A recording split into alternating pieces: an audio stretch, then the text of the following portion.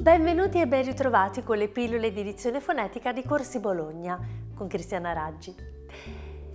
Oggi continuiamo con le nostre consonanti e andiamo come promesso, diretti e spediti come dei treni verso la gli.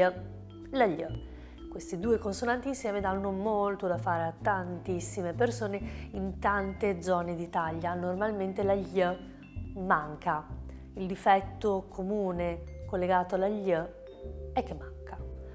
Altrimenti, altre volte posso avere aria che esce dai lati. In linea di massima comunque eh, il difetto maggiore e più pronunciato è che eh, io proprio non la sento e cioè invece di dire aglio io dico aglio.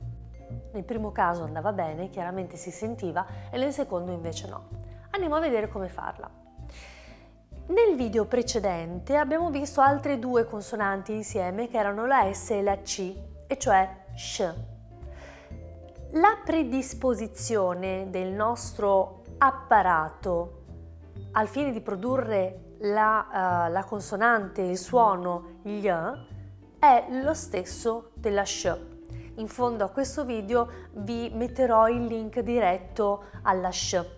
La gli viene prodotta dallo slittamento della lingua in avanti e dal suo distacco dal palato.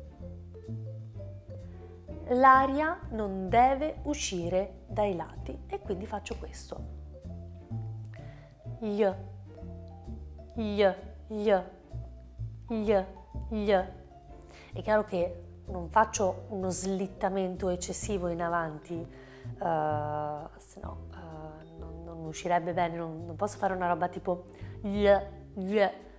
Non è uno slittamento eccessivo, è proprio un piccolo movimento, piccolissimo movimento. Gli, gli, gli.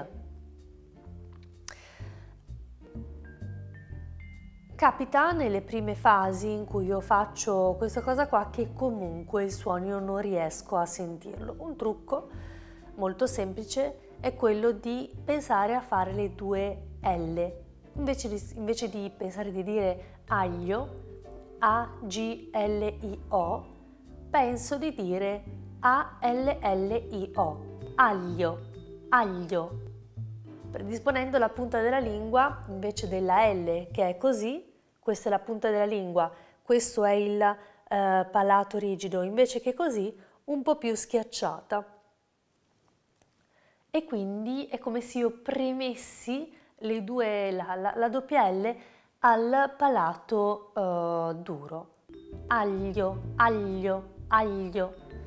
In questo caso qui ho fatto una doppia L, chiaramente il suono è lievemente differente rispetto al suono corretto, però in una prima fase iniziale può essere molto utile per cominciare ad assestare e ad abituare la lingua a fare comunque un certo genere di movimento. Quello che manca a questo movimento della doppia L è il leggero slittamento in avanti. Per oggi è tutto, queste sono, fino adesso sono, sono tutte quante, quasi tutte quante le uh, consonanti che volevamo vedere insieme, manca ancora la gn, la vedremo nel prossimo video, che sarà l'ultimo delle consonanti vi saluto, continuate a seguirci e ricordatevi, a un certo punto qualcosa cambia.